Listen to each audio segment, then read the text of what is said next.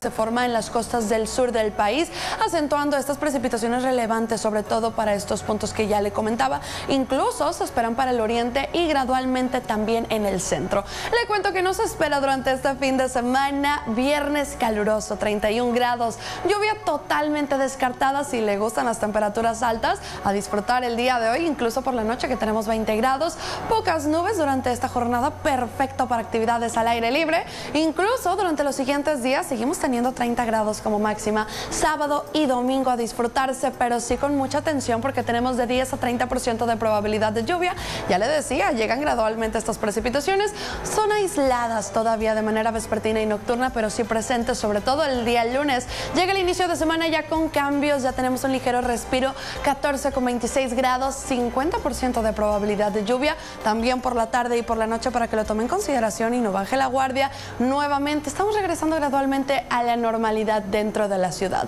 En gran parte del Estado de México el día de hoy persisten estas, estas temperaturas. 14,28 grados para Tizapán, Tlalnepantla, también Neucalpan, Ecatepec 13,29, así como en Nesa y Texcoco temperaturas máximas de 29 grados, pero continúa el calor, ya le comentaba, y vemos el contraste a nivel del país. La máxima que se registró durante las últimas 24 horas fue en Empalme, Sonora. Ya le decía que este sistema de alta presión se presenta mayormente en puntos del noroeste del país es por eso que estamos viendo estas temperaturas máximas registradas en estos puntos. Ya en Toluca 7,9 grados se ha mantenido firme durante toda la semana con las temperaturas más bajas registradas en el país con estos 7.9 grados. Así continúa el contraste, es por eso que hay que seguir tomando sus precauciones en puntos del noroeste así como noreste. Hidrátese muy bien, protéjase, es muy necesario también atender a los adultos mayores y a los pequeños durante este fin de semana que persisten estas condiciones y el resto del mes para puntos del norte de la República Mexicana. En Querétaro 13 con 32 grados, Morelia 14 con 34, Cuernavaca alcanza los 36 durante esta tarde de viernes